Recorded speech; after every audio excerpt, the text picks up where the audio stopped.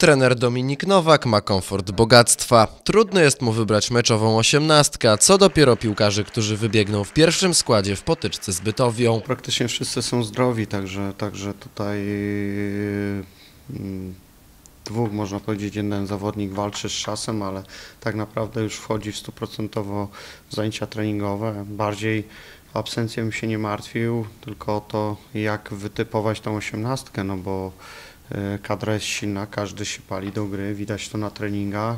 Zespół przyzwyczaił legnickich kibiców do widowiskowej gry i walki o zwycięstwo w każdym spotkaniu. Legniczanie na kilku meczach skandowali już nazwisko trenera w dowód wielkiej sympatii. To jest miłe dla trenera, natomiast też y, jestem świadomy, że ta moja pozycja jest budowana przez wspólną pracę całego sztabu szkoleniowego. Tu chciałbym zaznaczyć Grzesiu Mokry, y, Olek Ptak i, i, i, nasi fizjoterapeuci, kierownik drużyny, już nie mówiąc oczywiście o całej otoczce klubów, wszyscy, którzy przygotowują nam świetnie nawet murawę na trening. Zawodnicy miedzi, mimo że są na czele tabeli, nadal chcą ulepszać swoją grę.